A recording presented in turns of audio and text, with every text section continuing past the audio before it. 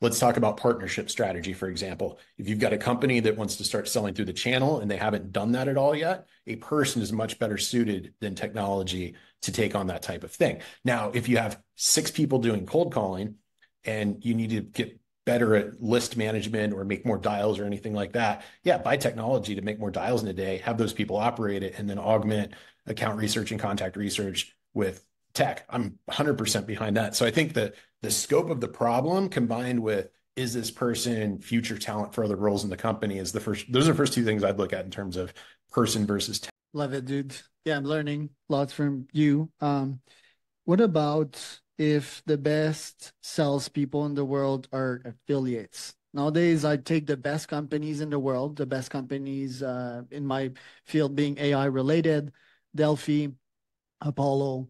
I have these guys sponsoring my pod, and I am pitching them on a daily basis, making nice cash flow. But the thesis is that I find the best companies in the world. I'm quite good at sales. I'm going to them. They're like, yes, please sell for sell for us.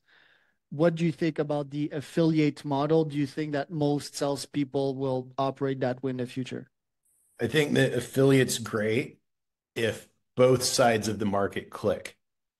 You've got to have a brand that's ready for prime